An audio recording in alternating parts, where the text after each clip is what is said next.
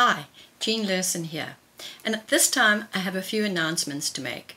Finally, I've finished my course on loose and textured florals. It was a long time in the making, but it's now done and up on my site at watercolors.jeanlurssen.com. I have three floral tutorials in the course, and each one deals with a different way to create textures in your paintings. The idea behind the course is to encourage you to use your imagination and create interesting paintings that are unique. These courses enable me to continue doing these demonstrations on YouTube.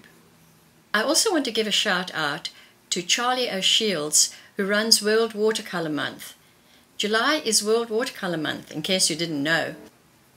If you visit his site at doodlewash.com, you can see all the things that he's selling to raise funds for a very worthy cause, the Dreaming Zebra Foundation, which provides art supplies for underprivileged children.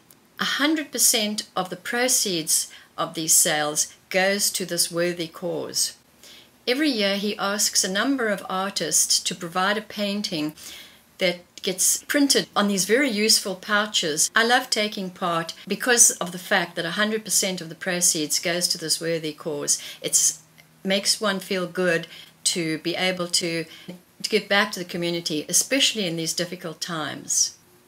Now I'm just going to do a little wet in wet floral demonstration. So I'm going to use some quinacridone magenta. We're going to do these warm-up exercises. I'm going to spritz not all over, just in a few places.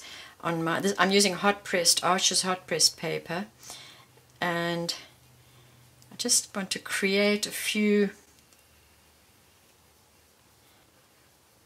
abstract florals. And I'm going to take my dagger brush. This is my number one Scroggy Loose Goose dagger brush that I got from, from Cheap Joe's and I'm going to use some Perylene Green which I think will go beautifully with this yes. And um, really just sort of the, the the nice thing about this is I'm, I'm holding it at the end so I've really got very little control. This is a very long brush. You you can't do detail with it so that's the good thing.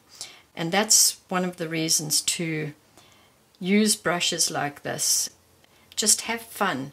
And See, I did in a very short time, I've done some uh,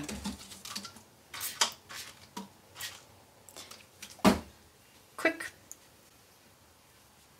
very quick, loose florals. I'll probably crop this and use it as a, a card for somebody's birthday. I love this combination. What also goes very nicely with with quinacridone magenta is a color called Cascade Green by Daniel Smith, which changes to bluish greenish colors as it's drying. It also looks uh, really nice with quinacridone magenta. So try that too if you have it.